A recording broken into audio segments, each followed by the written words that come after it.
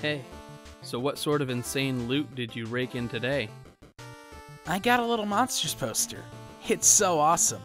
I'm gonna watch it again today. The apple juice scene was so funny. Oh, hell. That is such a coincidence. I just found an unopened container of apple juice in my closet. It is like fucking Christmas up in here. Okay, that's fine. But I just have one question and then a word of caution.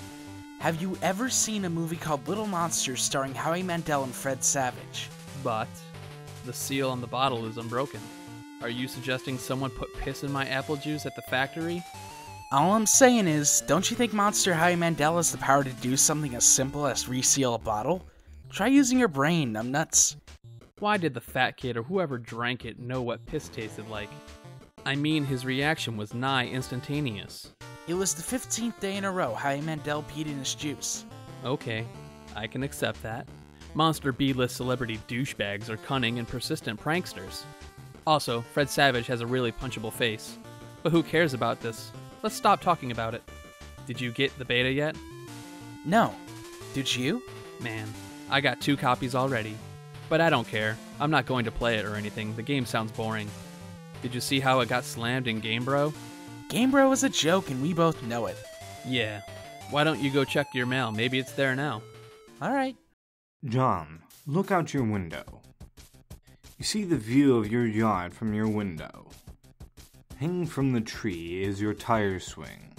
In a kid's yard, a tree without a tire swing is like a proper gentleman without a monocle. That is to say, he can hardly be considered a terribly proper gentleman at all. And there, beside your driveway, is the mailbox. John, examine the mailbox. The little red arm swingy dealy thing, or whatever it's called, is flipped up. What the hell is that thing called, anyways? You do not have time for these semantics. The red flippy lever thing means that you have new mail, and that means the beta might be here. John, go outside and check the mail. You're about to hurry down the stairs when you hear a car pull into the driveway. It looks like your dad has returned from the grocery store. Ah, great. He's beaten you to the mail. John, just forget it. Check the mail later. If you go downstairs to get it, he will likely monopolize hours of your time. You decide to chill out up here for a while until the dust settles. Sometimes you feel like you are trapped in this room. Stuck, if you will. In a sense which possibly borders on the titular. And now your chum is pestering you again. The clockwork of friendship turns ceaselessly, operating the swing lever dealies of harassment in perpetuity. Whatever. The dude can just hold his damn horses. John, examine games on CD rack.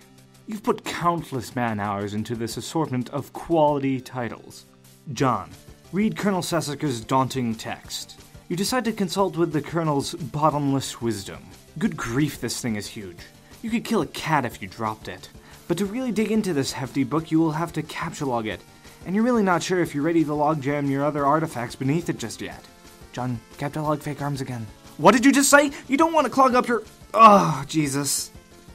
In a momentary lapse of concentration, you accidentally captchalogue the fake arms again. John, change your pester chum status.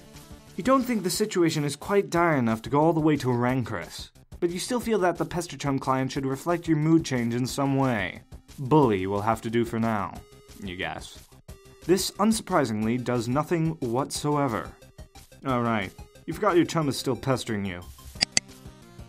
Is it there? Please say yes. Maybe you can play with TT. She's been pestering me all day about it. She's macking on me so hard all the time, I start to feel embarrassed for her. I mean, not that I can blame her or anything. Yes, it is understandable because you are really attractive. I am attracted to you. Thank you. JK. no, I don't have it yet. My dad has the mail, and I guess I have to go get it from him and see if it's there. And I've been busy spending all afternoon shitting around with my stupid Sylladex. It's so frustrating. What's your modus? What? How do you retrieve artifacts from it? Oh, like one at a time, I guess. And if I put too much in, something falls out. Stack? What's yours? Hash map. My bro taught me a few tricks. He basically knows everything and is awesome. What the hell is that? You should probably brush up on your data structures. I guess. Did you at least allocate your Strife Specibus? No. It could free up a card for you. Plus, let you attack stuff whenever things get too hot to handle, which is never. What have you got? Well, I've got a hammer, but it's trapped under some arms. Wow, you really suck at this, don't you? Just get rid of the arms and then allocate the hammer to the specibus. How? I don't know. Just use the arms on any old thing and see if it works. John, combine fake arms with the cake. You stick the fake arms in the cake on your bed. This definitely makes the cake at least 300% more hilarious. You're sure Colonel Sassacre would know the precise index of elevated hilarity. You check the back of your strife specibus for the kind abstratus you have in mind for it. John, select Hammer. Your strife specibus has been allocated with the hammer kind abstratus. The hammer has been removed from your captchalogue deck and put into the strife deck.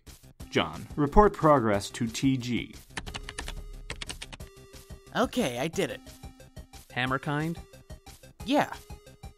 Okay, that will be the permanent allocation for your specibus.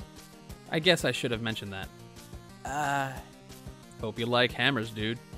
yeah, that's fine, I guess. I can't imagine it's going to be all that relevant. Now that you've got some space in your Sylladex to work with, you figure you might as well start squandering it immediately. Ordinarily, this ridiculous book would be way too heavy to carry around in any practical way. You guess maybe this is in one respect in which the cards present some convenience. John, examine Game Bro magazine. Game Bro. Why the game of the year or whatever isn't as good as some other stuff I like that's better.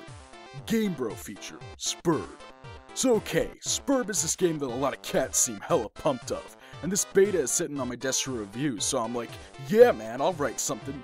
But I don't know, I'm like, this about houses or some noise? That's fine. I'm sure that's like fucking dynamite in a handbag for some brosifs, but all I'm saying is, when do you get to thrash anything?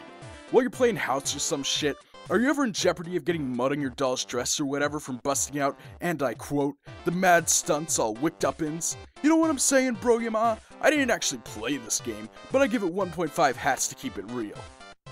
At this point, I'd like to give a shout out to my boy Dennis who was over the other day. We were going to chill in front of the Dark Knight and he was so psyched of it, y'all. So this one time he was leaning against the screen door and the shit popped open, and the back deck was wet and he slipped down the steps and broke his thumb on the lawn.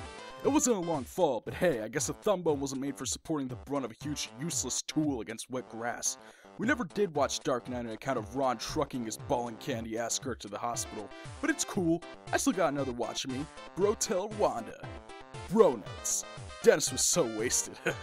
I mean, damn. Ratings for Sburb. One and a half sick hats out of five.